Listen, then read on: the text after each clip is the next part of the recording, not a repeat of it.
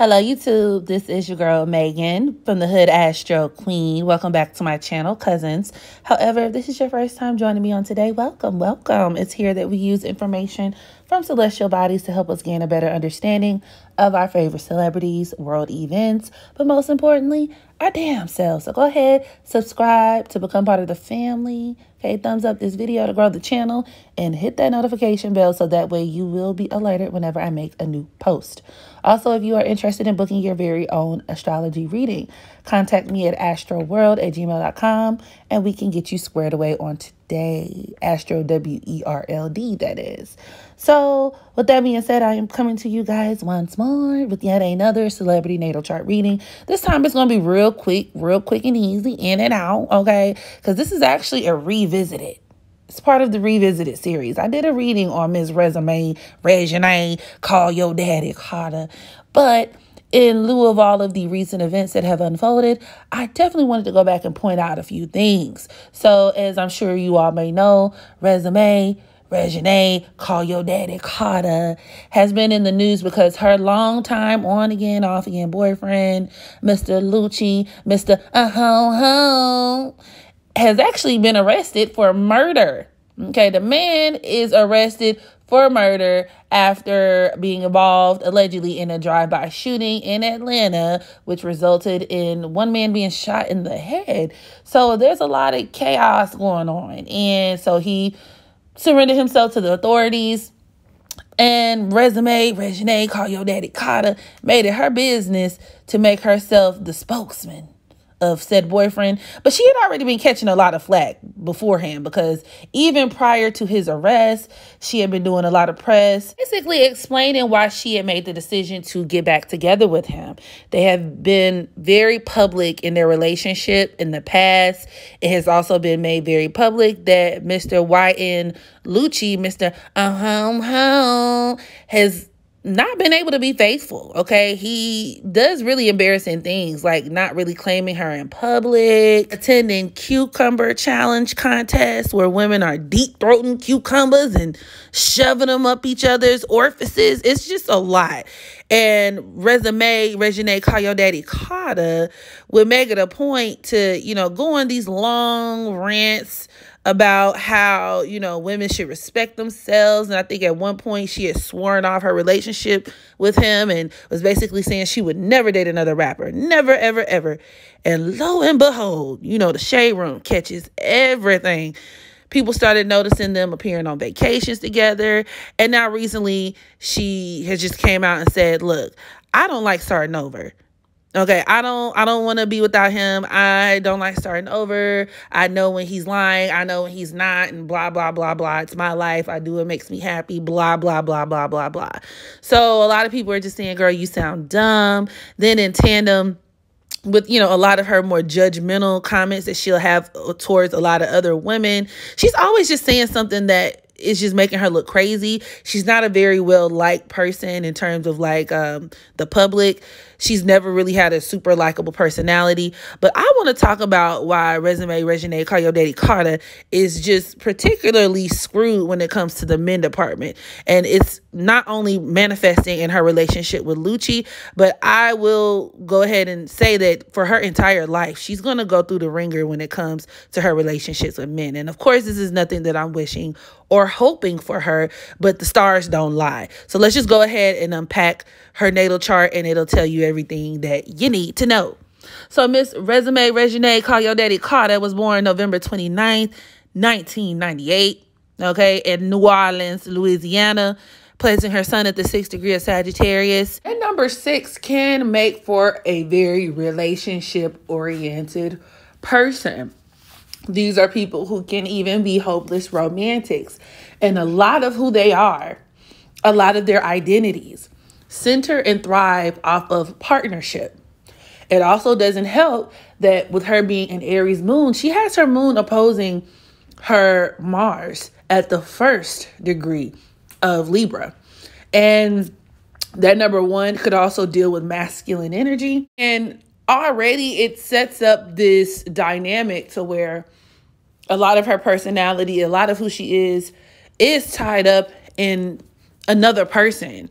You know, it could even create a person to where a lot of their own individuality is going to be warped, is going to be stunted. These are women who can be very male focused, male centered. And already we're building up to something that can be very dangerous, all right? Where we can be just entering very dangerous and unhealthy territories. They also tend to find themselves in very one sided relationships, relationships that lack a lot of reciprocation. If that's not bad enough, that number one energy could also make her extremely naive. She could have like a very childlike mind when it comes to dealing with men, very childish when she's thinking about her relationships with men and what these relationships in her life should consist of. This aspect could also make her extremely insecure, as there tends to be an innate tendency to compare oneself against other people uh, or compare oneself to other people. And these are women who typically tend to attract men who don't even really know where they want to be. Okay. Like playboys. All right. A woman with her Mars in Libra, depending on other factors in the chart, could definitely attract men who are always straddling the fence between them and another woman. It's almost always going to be like that, right? They can attract a lot of womanizers into their lives. And in the same vein of her being insecure, I thought it was very interesting because her Sun is conjunct her Pluto, which can deal with the person who gets plastic surgery. So I thought that was pretty interesting, you know, just considering that she has recently had plastic surgery, which is something else that she's received a lot of scrutiny for. Um, so yeah, the insecurity is there, and she does try to assert herself and make herself seem like a person who is just very like, oh, I don't care what people think. I got haters. I love me. I love me. Yes, I do. Mm-hmm. But the minute I found out she was born on the 29th, that just went out the window because in and of itself, that number 29 could also produce issues with men like as a woman you could have many issues with men because a lot of times there tends to be issues within the family dynamic within the fa- the home dealing with the father. You know these are people who could be very dysfunctional. They could have came from a very dysfunctional home environment which made me instantly think to her mother right? Her mother uh, who was also in a very abusive relationship at several points and even had a very dysfunctional relationship with her own father. So, you know, people with that number 29 influence can come from a lot of dysfunction, but they can also be extremely insecure people. They have major self esteem issues and they could have major uh, self image problems right? But they're the types to be very hard on the outside, very defensive on the outside, but deep down inside, because of that number two energy, the number two is governed by Cancer. They care. They care a lot. they care a lot and they're very susceptible to, um, they're very impressionable to their environment. So they tend to mimic a lot of the dysfunction that was uh, given to them or shown to them in their home life. A lot of the things that they're surrounded by could definitely impact them. Also, it's not lost on me that the number two, because it's governed by the moon, deals with the breast and the stomach. And when you put that next to the number nine, which deals with cuts um, and incisions, okay, more so cuts, like superficial cuts, but nonetheless, her getting her breast and her stomach done, I think she got liposuction and a boob job. I thought that was very interesting as well because i mean it could point to where those areas on her body specifically were areas that she was insecure about. I thought that was kind of cool kind of interesting but nonetheless as it pertains to the men right the men that she dates. Having that aries moon opposing her libra mars could also even make her the type of person to really try to force things onto men that they don't really want. You know what I mean? So the type of woman to who could really pressure a guy to be in a relationship who ain't really with that, who ain't really on that, he ain't really trying to hear that. You know what I mean? Then it also doesn't help that that Sun conjunct Pluto aspect, especially in Sagittarius, can attract a man who operates more so of like a rock star. These are men who need to have uh, I mean, unlimited options. They don't like to be inhibited. These are men who can have an extremely difficult time settling down. And a lot of that could even represent her father as well. So I thought that was kind of interesting.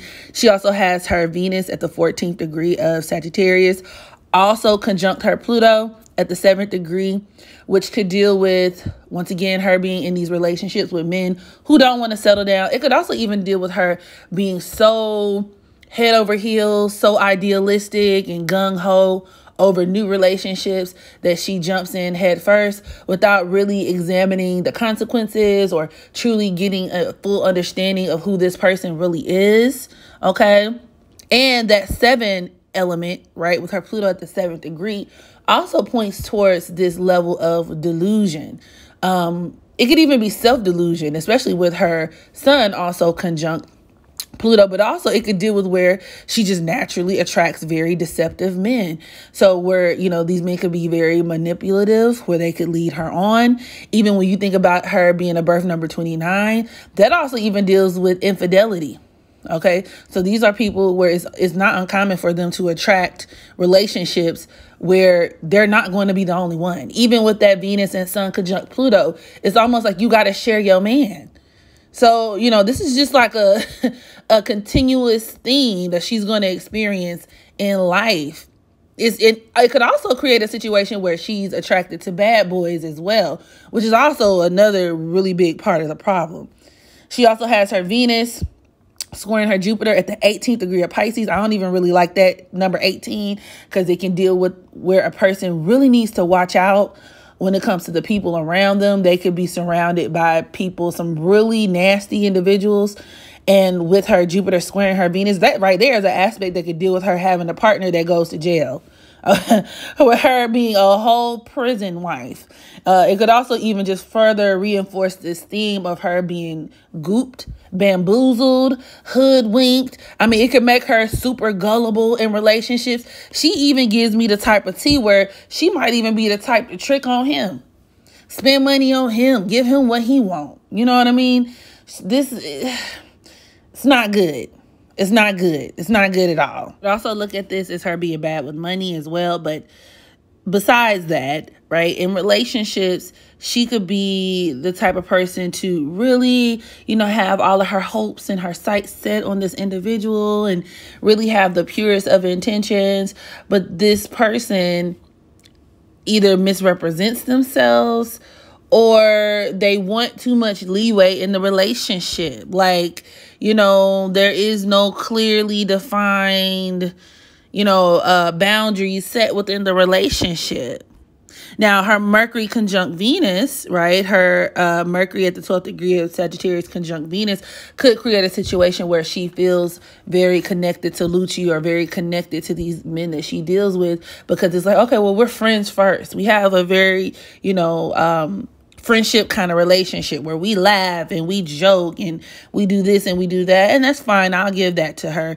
But for the most part, you know, her chart really sets her up for a lot of toxicity. And this, the ultimate cap on this, the highlight of this could even be the fact that she is a Leo North Node. She has her North Node at the 26th degree. That number 26 breaks down to the number eight. And that number eight could deal with a person who has so much inadequacy. Like they have so many self inadequacy issues that they allow themselves to be drugged through the mud. It's like these people can be gluttons for punishment, or they can kind of find themselves entrapped in that struggle mode, right? The struggle love. I feel like love is pain and pain is love and love, love, love. This lifetime, Leo North nodes are indebted to experience romantic relationships. It just so happens that with this setup, she's just naturally going to experience struggle relationships, relationships that are filled with karma, relationships that could even last a long time. So manifesting in her being with people way longer than she needs to be. Situations where she's just going to be drugged through the mud. Also, with her having her Chiron at the 25th degree of Scorpio, squaring her north node you know these are going to be toxic relationships these are going to be relationships with men who once again can't commit she's going to be stuck in a cycle of toxicity when it comes to her relationships with men. She has very toxic and karmic relationships with men that could have absolutely started with the father, as Leo also deals with the dad. A lot of Leo North and South Node women have daddy issues, whether she's willing to admit that or not. Or not, that's something that a lot of people on the outside looking in have been able to piece together, even astrology aside. So I just thought that this was very, very interesting. Her having Chiron squaring her nose could also signify her being um, such a hated person. her receiving a lot of attention as a Leo North node, right? So her even being in the limelight, her even wanting to be an actress and all this other good stuff, but to where like people either, I mean, people just really don't like her. People really don't like her. And she also has a lot of uh, narcissistic qualities to her, especially with that uh, Leo North node, which I mean, technically she is kind of entitled to in this lifetime. She just is, but you know that that that Chiron squaring her North node is just gonna make it very difficult. It's gonna be hard for her to run into a guy or come across a guy who's willing to act right. All of her relationships with men are gonna be afflicted and just defective. Period. You can even look at that square between her Chiron and North Node as her being a stepmother, her taking on other people's kids, which I feel like Lucci got about seven of them things, okay? Uh, but just even in the future, you guys have to keep that in mind. Even if she actually gains the strength and she wises up to a point where she terminates that relationship with Lucci for once and for all, she's going to find herself in the midst of another dude who probably got lots of kids. If he doesn't have lots of kids, he's still going to be an incredibly dysfunctional guy. You know, these men may even be abusive, um, manipulative. It's just always going to be relationship drama, just drama. As stated before, these relationships are filled with karma, which from an astrological standpoint means that you know there could be some past life experiences that she has with these individuals that just has to play out in this lifetime. They just got to play out. She's just the type of woman who's going to have to get her heart broken over and over again uh, in this lifetime. It just has to happen that way. So uh, yeah i wouldn't be surprised if a dude like ended up having a baby on her or you know, whatever the case may be, brought her back a couple STDs, especially with that Venus conjunct Pluto. Then she got Chiron and Scorpio squaring the North Node. My mind needs to be very careful.